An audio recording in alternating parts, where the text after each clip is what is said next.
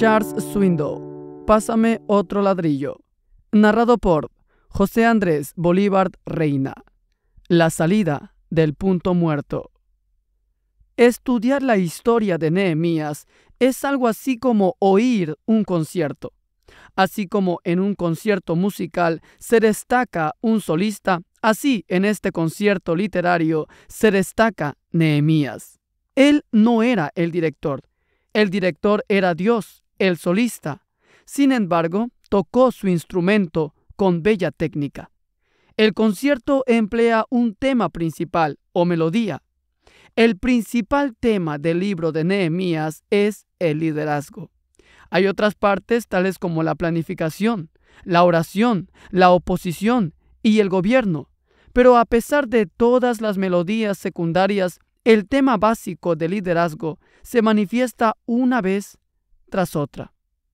Finalmente, todo concierto tiene por lo menos tres movimientos principales, y a menudo cada uno de ellos se toca en contraste con los otros. El primero puede ser tranquilo y suave, el siguiente apasionado y emocionante, y el último puede tener algo de los otros dos y terminar con un crescendo culminante. Lo mismo sucede en la historia del liderazgo de Nehemías. El primer movimiento ocurre desde el capítulo 1 hasta el capítulo 2, versículo 10. Allí vemos a Nehemías en su parte como copero del rey. Desde el versículo 11 del capítulo 2 hasta el fin del capítulo 6 hay un conmovedor movimiento de Nehemías como constructor. El movimiento final del libro comienza cuando llegamos al capítulo 7 y prosigue en un gran crescendo hasta el fin del libro. En estos últimos cinco capítulos vemos a Nehemías como gobernador. Si continuamos la analogía un poco más, yo diría que en ningún otro movimiento despliega el solista su mayor técnica y brillantez como en el segundo. Cuando Nehemías llegó a ser constructor, determinado a construir el muro alrededor de Jerusalén, yo creo que se convirtió en uno de los grandes dirigentes de toda la historia. Sin embargo, su papel de constructor no comenzó en forma muy elocuente. El primer movimiento termina después de haber producido un clímax atronador en el versículo 11. Uno casi puede oír la percusión, el sonido estridente de las trompetas y la armonía de movimiento entre las cuerdas mientras Nehemías proclama, llegué pues a Jerusalén. En este punto, Nehemías se portó de un modo muy diferente al que hubiéramos esperado. El apresurado lector pensaría que Nehemías, habiendo llegado a su destino, hubiera sido arrastrado por una fuerte compulsión interna a sacar el palustre, contratar subconstructores y aplicar la plomada, es decir, a comenzar el muro rápidamente. Pero no lo hizo así. En realidad, él no hizo nada. El segundo movimiento del concierto comienza en la última parte, del verso 11, con la declaración de Nehemías. Y dice, y después de estar allí tres días. ¿Por qué no se dedicó a trabajar inmediatamente? Porque no sabía lo que Dios tenía dispuesto para él. En efecto, Dios guardaba silencio. Ahora bien, no sé si esto ocurrió durante esos tres días o inmediatamente después, pero notemos lo que sucedió luego. Dice, me levanté de noche, yo y unos pocos varones conmigo, y no declaré a hombre alguno lo que Dios había puesto en mi corazón. Versículo 12. Posteriormente, en el versículo 16, Nehemías informa lo siguiente. Y no sabían los oficiales a dónde yo había ido, ni qué había hecho, ni hasta entonces lo había declarado yo a los judíos y sacerdotes, ni a los nobles y oficiales, ni a los demás que hacían la obra. Este es el liderazgo que el observador que no está envuelto, ni siquiera los trabajadores, ven nunca. La gente se cree que el líder vive de un modo excitante bajo la luminaria de reflectores, que se complace en recibir aplausos tras aplausos de un público extático. Esa imagen de líder de éxito es promovida por la televisión y la prensa a través de los canales internos de comunicación de una compañía. Pero Dios comienza el relato del segundo papel de Nehemías indicándonos que los líderes de éxito saben manejarse en la soledad. En el silencio es donde la persona se asegura el respeto del público. En lo que respecta a los Estados Unidos de Norteamérica, ahora mismo nos están doliendo nuestras venas políticas.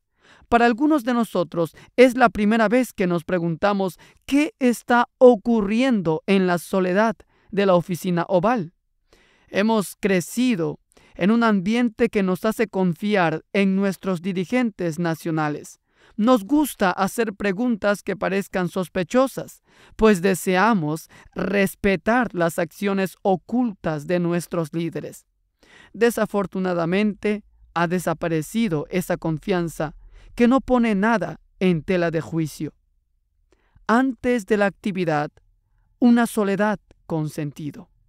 Si usted piensa que el hecho de estar sumamente ocupado equivale a ser espiritual, aprenda una lección de Nehemías.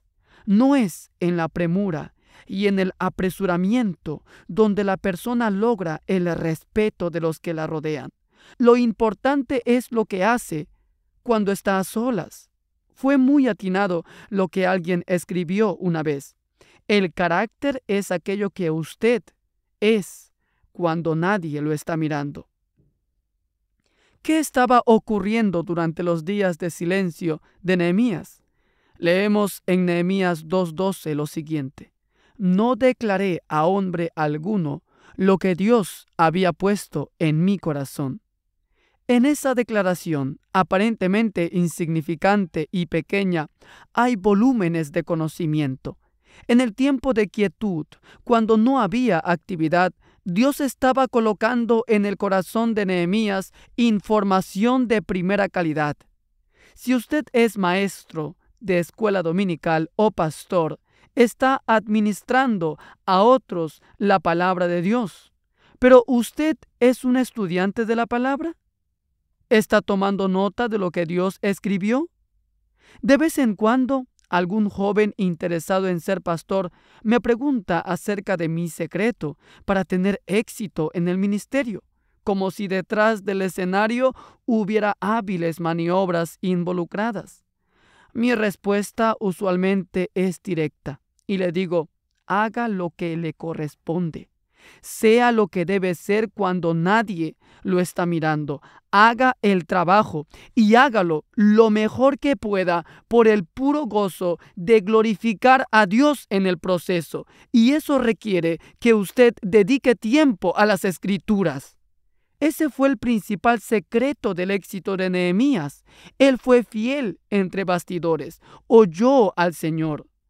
Mientras escudriñaba la mente de Dios, Nehemías recibió dirección objetiva. El texto en los versículos 13 y 14 dice, y salí de noche por la puerta del valle hacia la fuente del dragón y a la puerta del muladar, y observé los muros de Jerusalén. Notemos esto. Pasé luego a la puerta de la fuente él continuó a través de la parte sur de Jerusalén y regresó hacia el lado occidental, a la puerta de la fuente. Cuando Nehemías llegó al estanque del rey, eran tantos los escombros que no pudo pasar con su cabalgadura. Indudablemente se bajó y caminó delante de su bestia y escribió lo siguiente, y subí de noche por el torrente y observé el muro. Dos veces se refiere al hecho de que inspeccionó los daños, versículos 13 y 15. La palabra hebrea que se tradujo como observé significa mirar algo cuidadosamente. es un término médico que se refiere a examinar una herida para ver hasta dónde se extiende la lesión. Nehemías hizo un examen cuidadoso y consciente del muro por una razón. Como líder, le correspondía a él estar enterado de los detalles y desarrollar un plan de acción. Pero hay una inmensa diferencia entre estar uno enterado de los detalles y estar perdido en los detalles. El individuo que puede dar un paso hacia atrás, estando plenamente enterado de los hechos y, sin embargo, no perdido en ellos, es el que está mejor equipado para dirigir. Nehemías hizo una investigación cuidadosa de los hechos. En su mente estaba desarrollando un plan maestro para todo el proceso de construcción y estaba determinando cuál sería el personal necesario y los materiales de construcción. Mientras él estaba inspeccionando puertas y muros y otras secciones de la ciudad, hubiera podido pensar, ahora, vamos a ver, ¿quién será el que puede hacer mejor esta tarea? Esa sección exigirá que se haga cargo de ella un artesano en el oficio. Las excavaciones no tendrían que ser hechas por hábiles artesanos. Arrancar la hierba, remover los viejos escombros, ponerlos a un lado para despejar el sitio de construcción, bueno, cualquiera puede hacer eso. En otras palabras, Nehemías lo planificó todo. Él sabía que el trabajo tenía que cuadrar con el individuo, todo el trabajo esencial para la gigantesca empresa se estaba produciendo en el silencio y en la soledad de este tiempo. Después de la soledad, fuerte motivación. Nehemías había hecho todo lo que le correspondía hacer en casa y había realizado todas las inspecciones. Finalmente, estaba listo para hablar de la necesidad de reconstruir el muro de la ciudad. Era la hora de salir del punto muerto. El texto dice, les dije, pues. Nehemías no les había dicho nada acerca de sus planes durante tres días. Después de eso, se colocó de pie frente al consejo de la ciudad y dijo lo siguiente, Vosotros veis el mal en que estamos, que Jerusalén está desierta y sus puertas consumidas por el fuego, Venid y edifiquemos el muro de Jerusalén, y no estemos más en aprobio. Versículo 17. En mi Biblia he encerrado en círculos tres palabras vitalmente importantes en este versículo. Estamos, edifiquemos, no estemos. Para poder motivar a la comisión de planeamiento urbano de la ciudad y a los posibles empleados, tenía que identificarse con la necesidad. Imaginemos la clase de respuesta que hubiera obtenido si hubiera dicho lo siguiente. Ustedes están metidos en unos terribles escombros. ¿Saben ustedes lo que deben hacer? Necesitan reconstruir el muro. Si me necesitan, estaré en mi oficina. Al fin y al cabo, yo no fui parte del problema. Ustedes tendrán que poner esto en marcha y hacer la obra. Cuando uno echa la culpa a otros y critica, suprime la motivación. Cuando uno se identifica con el problema, estimula la motivación. Pero aunque Nehemías se identificó con el pueblo y estaba preocupado personalmente por el problema, no trató de esconder los duros hechos, no rogó ni amenazó, ni fue negativo en su enfoque. Simplemente dijo lo siguiente, tenemos que hacer algo con respecto a este problema. Reconstruyamos el muro. Nehemías extendió la invitación para reconstruir el muro y le ofreció al pueblo una razón para que la aceptara. No estemos más en aprobio. Hay dos clases de motivación.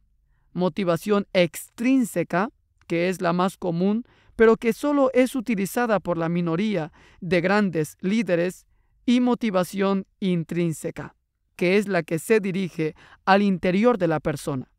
Consideremos el uso de la motivación extrínseca. Usted le dice a su hijo, vamos, mi amor, es tiempo de que te bañes. Hoy es sábado, noche de baño. Vamos, a limpiarte. No quiero, responde el muchacho. Si te bañas pronto, te dejaré ver televisión, usted le dice. Ese es un ejemplo del incentivo externo. Cuando el hijo crece un poco y comienza a asistir a la escuela, los padres le ofrecen, digamos, un dólar por cada nota excelente que obtenga. Cuando el mismo muchacho entra en la universidad, se le dice, si consigues buenas notas, figurarás en la lista de sobresalientes que tiene el decano. Esta es, pues, la motivación extrínseca. En la comunidad comercial existe el aguinaldo, es decir, algún viaje especial que puede ganarse si se incrementa el volumen de ventas. Eso es rascar donde más pica, externamente. La motivación extrínseca va dirigida a nuestras actitudes materialistas. Sin embargo, no toda la motivación externa es inadecuada.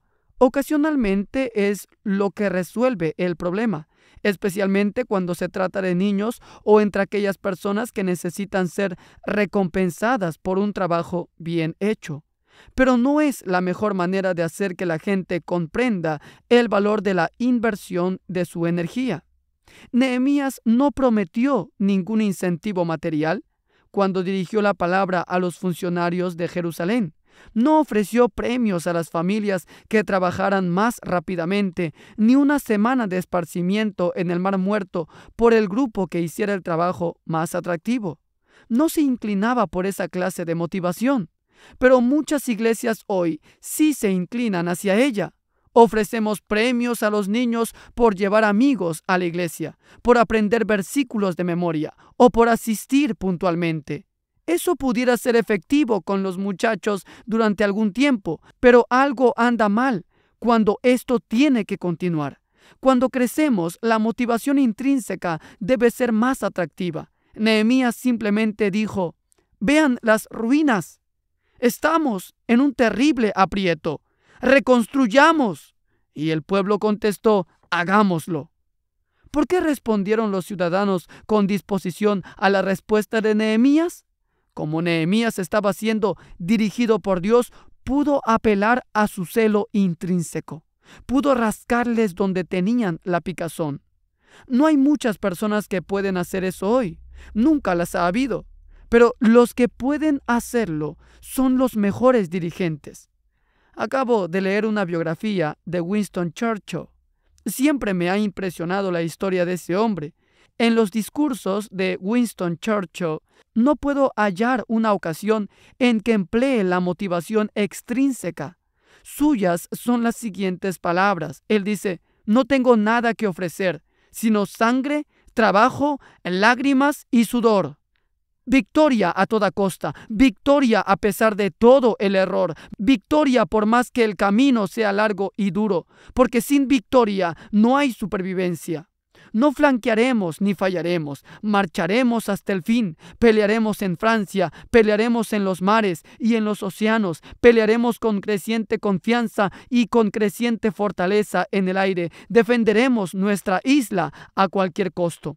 Pelearemos en las costas, pelearemos en los aeropuertos, pelearemos en los campos y en las calles, pelearemos en las montañas. Nunca nos rendiremos. Él dijo al presidente de los Estados Unidos de América el 9 de febrero de 1941, a través de una transmisión de radio, lo siguiente, dennos las herramientas y nosotros terminaremos el trabajo. Nunca olvidaré el asombroso discurso que dirigió a un pueblo aterrado en Bretaña. Cuando se dirigió a la Cámara de los Comunes el 30 de diciembre de 1941, en él incluyó las siguientes palabras. Cito. Cuando advertí a los franceses que la Gran Bretaña continuaría peleando sola, cualquiera que fuera la decisión de ellos, los generales de ellos dijeron a su ministro y al gabinete dividido, dentro de tres semanas Inglaterra tendrá su cuello retorcido como un pollo. ¿Qué pollo? ¿Qué cuello? Cierro cita. Los nazis nunca retrocedieron al cuello de Inglaterra. De algún modo, Churchill aquella pequeña criatura regordeta pudo permanecer detrás de un micrófono y fortalecer a los militares de británicos con una motivación intrínseca. Dirigió la motivación al celo de ellos. Esto me hace recordar a David, cuando se quitó la armadura que Saúl le había dado y a través del valle miró la cara de aquel horrible gigante, entonces dijo, ¿no hay excusa? Y mientras todo el mundo se quedó pensando en los inconvenientes, David gritó, apártense. Recogió unas pocas piedras y usted sabe el resto de la historia. David poseía aquella maravillosa motivación interna que nunca se rinde. Nehemías comunicó la misma fortaleza interna y la misma promesa. Él dijo en el versículo 8, entonces les declaré cómo la mano de mi Dios había sido buena sobre mí, y asimismo las palabras que el rey me había dicho. Y dijeron, levantémonos y edifiquemos. Así esforzaron sus manos para bien. Alguien sugirió una vez, si usted realmente quiere verificar la habilidad que tiene una persona para dirigir, solo fíjese si alguien lo está siguiendo. Aquí fue precisamente cuando Nehemías surgió como líder. Sus nuevos seguidores dijeron, levantemos y edifiquemos, así esforzaremos nuestras manos para bien. Con motivación es inevitable la oposición. Notemos que de inmediato viene la oposición, nunca falla. Hay críticas directas al plan. Tan pronto como las cuadrillas de construcción se dispusieron, recibieron la oposición. Pudo oírse otra vez la ley de Murphy. En el versículo 19 dice, pero cuando lo oyeron Sanbalat Oronita, Tobías el siervo amonita y Gesem el árabe, hicieron escarnio de nosotros y nos despreciaron diciendo, ¿Qué es esto que hacéis vosotros? Os rebeláis contra el rey. Versículo 19. El término hebreo que se tradujo como hicieron escarnio significa balbucir, tartamudear, pronunciar repetidamente palabras de escarnio. Zambalat y Tobías mantenían sus cabezas en alto, mientras por encima de sus hombros miraban por encima de sus hombros y se burlaban del pequeño grupo de judíos diciendo, Ustedes están locos, nunca lograrán hacer eso. Al fin y al cabo, se están rebelando contra el rey, ¿verdad? Me imagino a Nehemías sacando otra vez aquellas cartas. Estas son las palabras del rey, gritó, del rey Artajerjes. Él me dio la autorización. Pero él hizo algo más. Expresó una firma política en el tiempo preciso. Verso 20. Y en respuesta les dije, el Dios de los cielos, Él nos prosperará y nosotros sus siervos nos levantaremos y edificaremos, porque vosotros no tenéis parte ni derecho ni memoria en Jerusalén. Nehemías sabía que él y su pueblo de Jerusalén estaban haciendo la obra de Dios. Por tanto, no pondría atención a cualquiera que se opusiera a lo que él sabía que era lo adecuado y además no intentó asociarse con aquellas personas que intentaban detener lo que obviamente era de Dios. Estaba determinado a no permitir que nadie que no fuera Dios detuviera la obra. Me pregunto cuántos de nosotros hubiéramos dicho, como ustedes ven, la gente realmente no quiere un muro nuevo. No podemos continuar con el proyecto, pues la oposición es demasiado manifiesta no han tenido muro aquí durante más de 150 años y se han acostumbrado a vivir en esta forma. No vale la pena cambiar. Empaquemos y vayámonos. Nehemías, sin embargo, se plantó firme y se aferró a su posición original. Parte de los requisitos de trabajo no escritos para un dirigente es la capacidad de manejar la crítica. Esa es parte del liderazgo. Si usted no es criticado, es probable que no está logrando hacer nada. Un líder sabio evaluará la oposición del espíritu y de la actitud con que se da la crítica. También considerará la voz a la cual pone atención la oposición. Si las personas que lo critican a usted están atentas a la voz de Dios, es mejor que usted les ponga atención. Pero si marchan al ritmo de otra música, use la técnica de Nehemías. Miren, Ellos ni siquiera pertenecen a nuestro campamento. Continuemos hacia adelante. ¿Y sabe usted? Ni siquiera con eso se retiraron aquellos tercos hombres que se opusieron a la misión de Nehemías. Se mantuvieron cerca todo el tiempo que duró la construcción del muro. Cuando iba por la mitad, ellos se burlaban. Hasta una zorra vieja podría derribar ese muro. Pero acuérdense que ahora estaban gritando al otro lado del muro. Mientras Nehemías dirigía a los demás en la construcción del muro, tenía sus ojos puestos en la batuta del director. ¿Cae usted en la cuenta de que puede tener sus ojos puestos en diversas direcciones en la vida cristiana? Puede tenerlos pegados en alguna otra persona si así es, pronto estará usted frustrado o aún desilusionado, pues esa persona fallará. Nunca ponga sus ojos en algún miembro de la directiva de la iglesia, ni en ningún funcionario, ni en ningún amigo. Es la mejor manera de echar a perder sus pasos. En vez de ello, mantenga sus ojos fijos en Dios. Usted puede fijar los ojos en su propia situación y estar absorto en la autoconmiseración o puede tener los ojos en usted mismo y llenarse de orgullo o desmoralizarse a causa de la seguridad. Cuando usted pone los ojos en sí mismo, constantemente está comparando su vida con la de alguna otra persona. Nunca se sentirá sosegado mientras esté librando la batalla de la comparación. Suya es la dirección. Puede permitir que sus ojos vaguen sin meta fija o simplemente puede mirar hacia arriba y fijar los ojos en el director. Aunque a usted le corresponda lo que llama una parte insignificante de la orquesta total, nunca carecerá de dirección.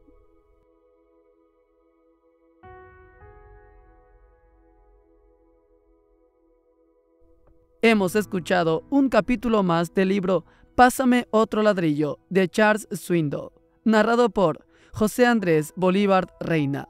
En la siguiente transmisión estaremos viendo la siguiente parte de este emocionante libro titulado Derribados, pero no desmayados. No olvide suscribirse al canal y darle a la campanita para que cuando se suba este capítulo YouTube le sea informando al instante. Un fuerte abrazo desde Lima y Perú y que Dios los bendiga grandemente. Bendiciones.